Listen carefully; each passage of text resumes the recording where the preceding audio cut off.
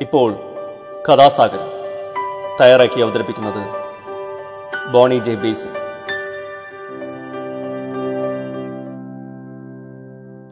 നമസ്കാരം പ്രിയ ശ്രോതാക്കളെ. ഞാൻ ബോണിയാണ്. കഥാസാഗരത്തിന് സമയമായിരിക്കുന്നു. കഥാസാഗരം ഇവിടെ ആരംഭിക്കുന്നു.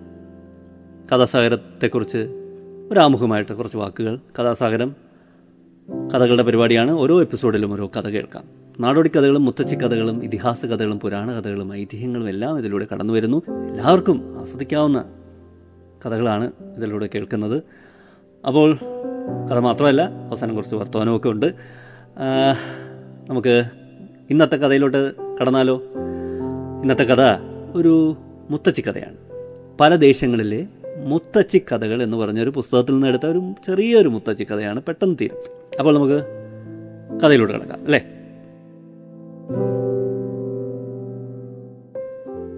വളരെ പണ്ട് നായ്ക്കൾ കാട്ടിലാണ് താമസിച്ചിരുന്നത് കാട്ടിൽ കൂട്ടുകാരാരുമില്ലാതെ തനിച്ച് താമസിച്ച് ഒരു നായ്ക്ക് മടുത്തു. ശക്തനായ ഒരു ചങ്ങാതിയെ കണ്ടുപിടിക്കാൻ അവൻ തീരുമാനിച്ചു. അങ്ങനെ അന്വേഷിച്ച് നടക്കുമ്പോൾ വഴിയിൽ ഒരു മുയലിനെ കണ്ടുമുട്ടി. നമുക്ക് കൂട്ടുകാരായി ഒന്നിച്ച് താമസിച്ചുകൂടെ? നായ ചോദിച്ചു. ശരി അങ്ങനെ ആയിക്കോട്ടെ. മുയൽ സമ്മതിച്ചു. അങ്ങനെ രണ്ടാളും ഒന്നിച്ച് താമസവും തുടങ്ങി. സൂര്യൻ അസ്തമിച്ചു. പാതിരാത്രി ആയപ്പോൾ നായ കുരയ്ക്കാൻ തുടങ്ങി. നല്ല സ്വപ്നമൊക്കെ കണ്ട് ഉറങ്ങിയായിരുന്ന മുയൽ ഞേട്ടി ഉണർന്ന്. മുയൽ പേടിച്ചു വിറച്ച് ചോദിച്ചു എന്തിനാ ചങ്ങാതി ഇങ്ങനെ കുരയ്ക്കുന്നത്? ഒച്ച കേട്ട് ചെന്നായ വന്ന് നമ്മളെ പിടിച്ചു തിന്നും. അത് കേട്ട് നായ വിചാരിച്ചു ഇവനൊരു പേടിത്തൊണ്ടൻ തന്നെ.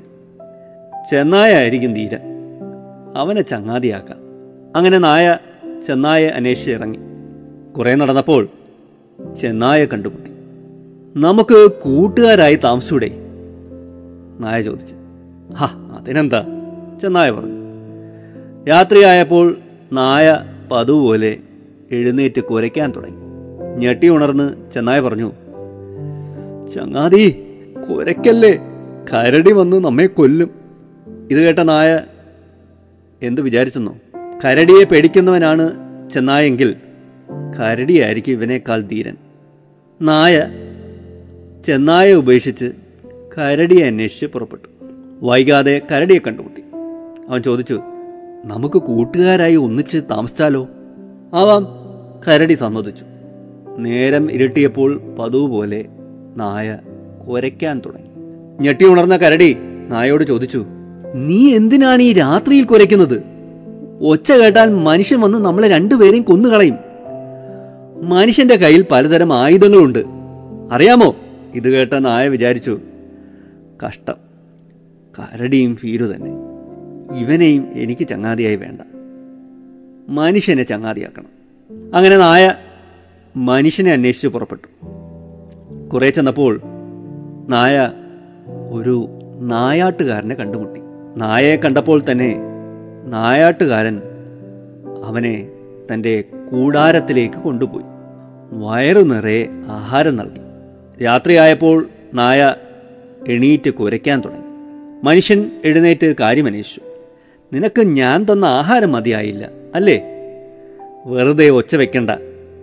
ഇടയ്ക്കിടെ ഉറക്കമുണരുന്നത് എനിക്കിഷ്ടമല്ല. ഇങ്ങനെയാണ് നിന്റെ സ്നേഹപ്രകടനമെങ്കിൽ എനിക്ക് ദേഷ്യം വരും. ദേഷ്യം വന്നാലുണ്ടല്ലോ? ആ. മനുഷ്യനാരെയും ഭയമില്ലെന്ന് നായ മനസ്സിലാക്കി. അങ്ങനെയാണത്രേ മനുഷ്യന്റെ കൂടെ താമസിക്കാൻ നായ തീരുമാനിച്ചത്. ഇപ്പോഴും ആ തീരുമാനത്തിന് യാതൊരു മാറ്റവുമില്ല.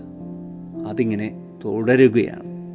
ഇത് ടിബറ്റിൽ നിന്നുള്ള ഒരു മുത്തച്ചി കഥയാണ്.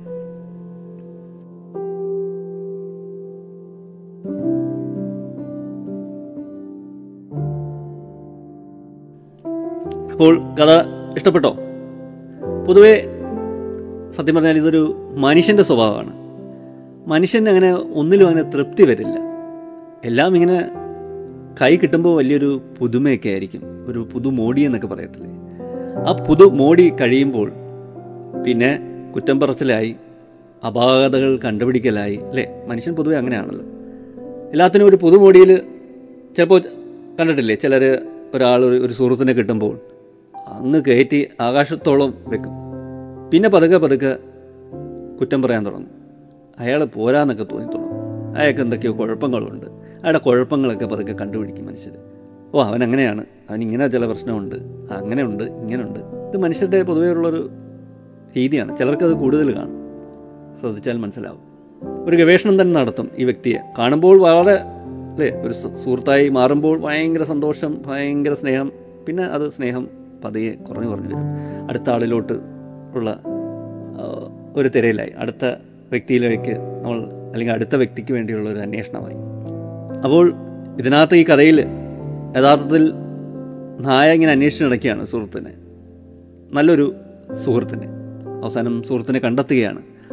അത് മനുഷ്യനാണ്. മനുഷ്യനാകുമ്പോൾ ആരെയും കൊണ്ട് പേടിയില്ല. ശരിയാണ്. നമ്മളൊന്ന് ചിന്തിച്ചു കഴിഞ്ഞാൽ മനുഷ്യൻ ഭൂമിയെ കീഴടക്കി അല്ലേ? ഈ മൃഗങ്ങളും ജന്തുക്കളും ജീവികളും ഒക്കെ ഇന്ന് ചുരുങ്ങി ചുരുങ്ങി വളരെ തുച്ഛമായിട്ടുള്ള കാടുകളിലേക്ക് ചുരുങ്ങിപ്പോയിരിക്കുകയാണ്. പണ്ട് കാലത്ത് ഈ ഭൂമി മുഴുക്ക മനുഷ്യരുടെ ഒപ്പം ഓടിച്ചാടി നടന്ന മൃഗങ്ങളും ജന്തുക്കളും ജീവികളും ഒക്കെ ഇന്ന് ചില കോണുകളിലോട്ട് ഒക്കെ ചുരുങ്ങിയിട്ടുണ്ട് അല്ലേ? എന്തുകൊണ്ടാണ്? മനുഷ്യൻ അത്രയ്ക്ക് അവന് ഭയമില്ല അല്ലേ? അവന്റെ ബുദ്ധി ഉപയോഗിച്ച് അവൻ ഭയത്തെ കീഴടക്കാൻ ശ്രമിക്കുകയാണ്. അവൻ മറ്റുള്ള മൃഗങ്ങളെയൊക്കെ ഭയമുണ്ട് പക്ഷേ അവൻ അവന്റെ ബുദ്ധിയും സാമർഥ്യവും ആ ബുദ്ധി ഉപയോഗിച്ച് അവൻ യന്ത്രങ്ങളും തോക്കുകളും ആയുധങ്ങളുമൊക്കെ പണിയായുധങ്ങളുമൊക്കെ ഉണ്ടാക്കുന്നു അല്ലെ? അവൻ സുരക്ഷിതമായിട്ട് അവൻ വീടുകൾ നിർമ്മിക്കുന്നു. അവൻ അവന്റെ സുരക്ഷിതത്വം അവൻ സ്വയം ഒരുക്കാൻ തുടങ്ങി. മൃഗങ്ങളുടെ കണക്കല്ല അവർ കാട്ടിൽ തന്നെയാണ്. അവർക്ക് എപ്പോഴും എന്ത് സംഭവിക്കാം അല്ലേ? ചുറ്റും ആപത്ത് അവരുടെ മേൽ ചാടി വീഴാൻ പതുങ്ങിയിരിപ്പുണ്ട്. അത്രയും പ്രശ്നങ്ങളൊന്നും മനുഷ്യനില്ല. അവൻ മനുഷ്യൻ അവന്റെ ബുദ്ധി ഉപയോഗിച്ച് കുറേയേറെയൊക്കെ മറികടക്കാൻ സാധിച്ചു. അതിന്റെ ഫലമായിട്ട് അല്ലേ? അവന് ആധുനിക ശാസ്ത്രത്തിന്റെ ഫലമായിട്ട് ആധുനിക വൈദ്യശാസ്ത്രത്തിന്റെ ഫലമായിട്ടൊക്കെ അവന് അല്ലേ ആയുസ് കൂട്ടാൻ കഴിഞ്ഞു. അവന്റെ ആയുസ് ഇന്ന് ഒരു ആവറേജ് എന്നൊക്കെ പറയുന്നല്ലേ ഒരു മലയാളിക്കോ അല്ലെങ്കിൽ ഒരു ഇന്ത്യക്കാരനൊക്കെ എഴുപതും എൺപതും ഒക്കെ ആയി. അങ്ങനെ എന്താ എന്ത് പറഞ്ഞാലും അല്ലേ ഭൂമി അവന് തികയാത്ത ഒരു അവസ്ഥയിലോട്ടായി അല്ലേ? അവന്റെ ജനസംഖ്യ വർദ്ധിച്ചു. മൃഗങ്ങളുടെയൊക്കെ എണ്ണവും വളരെ കുറഞ്ഞ്. ചില പ്രദേശങ്ങളിലായിട്ട് അവർ ഒതുങ്ങി അതിൽ അവർ വീർപ്പ് മുട്ടുകയാണെന്നൊക്കെയാണ് അല്ലേ പുതിയ കണക്കുകളൊക്കെ സൂചിപ്പിക്കുന്നത്. ഒരു സ്ഥലത്ത് കൊള്ളാവുന്നത്രയും ആനയും പുലിയും ചെന്നായും കാട്ടുപോത്തും ഒക്കെ ഉണ്ടാകുമ്പോൾ തീർച്ചയായിട്ടും അവർ പതിയെ ജനവാസ കേന്ദ്രങ്ങളിലേക്ക് ഇറങ്ങാൻ മുതിരുന്നു.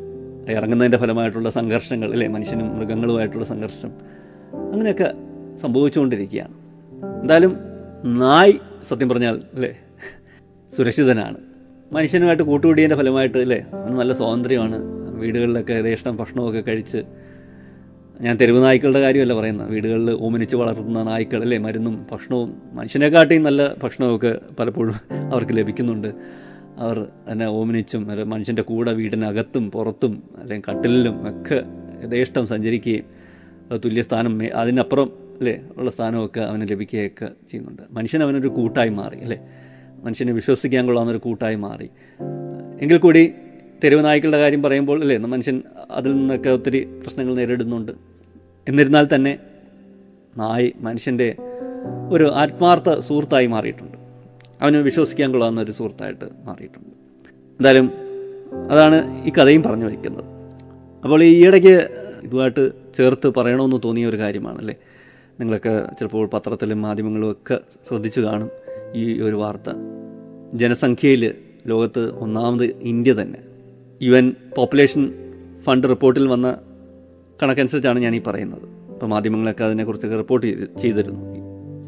ഏതാനും ദിവസങ്ങൾ അപ്പോൾ ഇന്ത്യയിലെ പുരുഷന്മാരുടെ ആയുർ ദൈർഘ്യം എഴുപത്തൊന്ന് വയസ്സായി. സ്ത്രീകളുടേത് എഴുപത്തിനാലുമായി അപ്പോൾ സ്ത്രീകൾ ജീവിക്കുന്നത് പുരുഷന്മാരെക്കാൾ മൂന്ന് വർഷം അധികമാണ്. അങ്ങനൊരു മാറ്റം സംഭവിച്ചിരിക്കുകയാണ്. അപ്പോൾ ഈ ലോക ജനസംഖ്യയുടെ ഒരു സ്ഥിതി വ്യക്തമാക്കുന്ന പുതിയ യുണൈറ്റഡ് നേഷൻസ് പോപ്പുലേഷൻ ഫണ്ട് റിപ്പോർട്ടിലാണ് ഞാൻ ഈ നേരത്തെ സൂചിപ്പിച്ചിരുന്നു ഈ വിവരങ്ങൾ രേഖപ്പെടുത്തിയത്. ഇന്ത്യൻ ജനസംഖ്യയിൽ ഇരുപത്തിനാല് ശതമാനം പേർ പതിനാല് വയസ്സിന് താഴെയുള്ളവരാണ്. പത്തിനും പത്തൊമ്പതിനും ഇടയിൽ പ്രായക്കാർ പതിനേഴ് ശതമാനമാണ്. അത്രയും ശതമാനമുണ്ട്. പത്തിനും പത്തൊമ്പതിനും ഇടയിലുള്ള പ്രായക്കാർ. പത്തിനും ഇരുപത്തിനാലിനും ഇടയിലുള്ള വയസ്സുകാർ ഇരുപത്താറ് ശതമാനം പേര്. പതിനഞ്ചിനും അറുപത്തിനാലിനും ഇടയിലുള്ള വയസ്സുകാരായ അറുപത്തെട്ട് ശതമാനം പേരുണ്ട്. ഏഴ് ശതമാനം പേർ അറുപത്തഞ്ച് വയസ്സോ അതിൽ കൂടുതലോ ഉള്ളവരാണെന്നാണ് റിപ്പോർട്ടിൽ ഉള്ളത്. നൂറ്റി നാൽപ്പത്തി നാല് പോയിന്റ് പതിനേഴ് കോടി മനുഷ്യരുമായി ലോകത്ത് ഏറ്റവും കൂടുതൽ ജനസംഖ്യയുള്ള രാജ്യമായി ഇന്ത്യ തുടരുന്നു എന്ന് റിപ്പോർട്ട് ചൂണ്ടിക്കാട്ടുന്നു. നൂറ്റി നാൽപ്പത്തിരണ്ട് പോയിന്റ് അഞ്ച് കോടി ജനങ്ങളുള്ള ചൈനയാണ് രണ്ടാമത് വരുന്നത്. അപ്പോൾ നമ്മുടെ ആരോഗ്യ മേഖല നല്ല ഉന്നതിയിൽ നിൽക്കുകയാണ്. അത് വളരെ ഫലപ്രദമാണ്. അത്തരത്തിൽ ഫലപ്രദമായ ആരോഗ്യ പരിരക്ഷ വഴി പ്രസവാനന്തര മരണനിരക്ക് കുറഞ്ഞെങ്കിലും ചിലയിടത്തൊക്കെ ചില ആശങ്കകൾ നിലനിൽക്കുന്നുണ്ട്. രാജ്യത്തെ അറുന്നൂറ്റി നാൽപ്പത് ജില്ലകളിൽ മൂന്നിടത്ത് മാത്രമാണ് പ്രസവാനന്തര മരണനിരക്ക് കുറയ്ക്കുന്നതിനുള്ള സുസ്ഥിര വികസനം ലക്ഷ്യം കൈവരിച്ചത്. ലക്ഷ്യം പ്രസവത്തിൽ എഴുപത് എന്നതാണ് സുസ്ഥിര വികസന ലക്ഷ്യത്തിന്റെ തോത്. അരുണാചൽ പ്രദേശിലെ തിരപ്പ് ജില്ലയിലാണ് ഏറ്റവും കൂടുതൽ മരണനിരക്ക്. ഒരു ലക്ഷം പ്രസവത്തിൽ ആയിരത്തി അറുന്നൂറ്റി എഴുപത്തൊന്ന് മരണമാണ് സംഭവിക്കുന്നത്. അപ്പോൾ ഞാൻ ഈ പറഞ്ഞതെന്ന് പറഞ്ഞാൽ നമ്മുടെ ജനസംഖ്യയൊക്കെ ഇങ്ങനെ വർദ്ധിച്ചു വരുന്നു അല്ലേ? അപ്പോൾ ജനസംഖ്യ വർദ്ധിക്കുമ്പോൾ ഉണ്ടാകുന്ന പ്രശ്നം എന്ന് പറഞ്ഞാൽ അല്ലേ? ആഹാരം വേണം പാർപ്പിടം വേണം തൊഴിൽ വേണം ജലം വേണം അല്ലേ? ഇവർക്കൊക്കെ ജലം ഇപ്പോൾ വലിയൊരു ദൗർലഭ്യമുള്ള ഒരു വസ്തുവായിട്ട് മാറിയിരിക്കുകയാണ്. പാർപ്പിടം അല്ലേ? അത് വലിയൊരു പ്രശ്നമാണ്. നല്ല ശുദ്ധമായ കുടിവെള്ളം കണക്ക് തന്നെ പാർപ്പിടവും. അപ്പോൾ ഇതെല്ലാം വരുന്നത് നമ്മുടെ ഇനിയുള്ള കാടുകളെ ബാധിക്കാതെ നോക്കണം അല്ലേ? വനം. ജനസംഖ്യ വർദ്ധിക്കുന്നതിന്റെ ഫലമായിട്ട് ഇനി കാടുകൾ നശിക്കാൻ ഇനി ഇട വരരുത്. അതിനുള്ള ശ്രമം കൂടി നമ്മൾ നടത്തണം. മാലിന്യ സംസ്കരണം അല്ലേ? ഇത്രയും ആൾക്കാരൊക്കെ കുടുംബ മാലിന്യം വരുന്നു. അതിന്റെ സംസ്കരണം ഇതൊക്കെ വലിയ പ്രശ്നമാണ്. ഇതൊക്കെയാണ് അല്ലേ? മുന്നോട്ടുള്ള യാത്രയിൽ നമ്മൾ ശ്രദ്ധിക്കേണ്ട കാര്യങ്ങൾ. ഇത്രയും കാര്യങ്ങൾ ഞാൻ ഈ കഥയുമായിട്ട് കൂട്ടി വായിച്ചെന്നേ ഉള്ളൂ നായയുടെ തീരുമാനം എത്ര ശരിയായിരുന്നു? മനുഷ്യൻ ബുദ്ധിമാൻ തന്നെ അല്ലേ?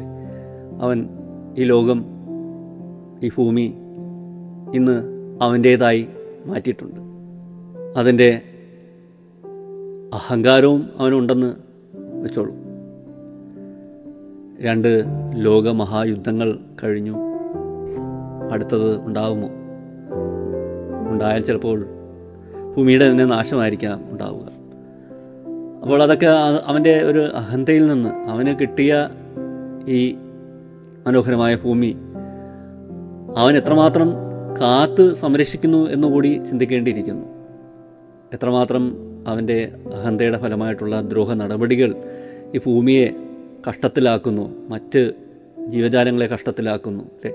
അമിതമായിട്ടുള്ള ചൂഷണം അല്ലേ? കടലും കരയിലും വെള്ളത്തിലും എല്ലാം നടത്തുന്ന അമിതമായ ചൂഷണം യുദ്ധങ്ങളുടെ മുറിവുകൾ അല്ലേ?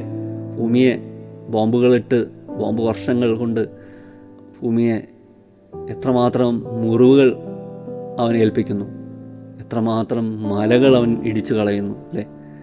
അവന്റെ സ്വാർത്ഥതയുടെ ഫലമായിട്ട് എത്രമാത്രം കുന്നുകളും എത്ര ജലാശയങ്ങളും പുഴകളും കടലുകളും ഒക്കെ മലിനമാകുന്നു. ഇതെല്ലാം മനുഷ്യനെന്ന് വരുത്തുന്ന കെടുതികളല്ലേ? അപ്പോൾ ഇത്തരം ചിന്തകൾ കൂടി ഈ അവസരത്തിൽ ഉണ്ടാവുന്നത് നല്ലതായിരിക്കും എന്ന് പറഞ്ഞുകൊണ്ട് ഞാൻ ഇന്നത്തെ കഥാസാഗരം ഇവിടെ അവസാനിപ്പിക്കുന്നു. നമുക്ക് കെട്ടുമുട്ടാം അടുത്ത കഥയിൽ അടുത്ത കഥാസാഗരത്തിൽ പുതിയൊരു കഥയുമായിട്ടും പിന്നെ പുതിയ കുറച്ച് ചിന്താ വിഷയങ്ങളുമായിട്ടും. ഏവർക്കും നന്ദി നമസ്കാരം. Signing off Boney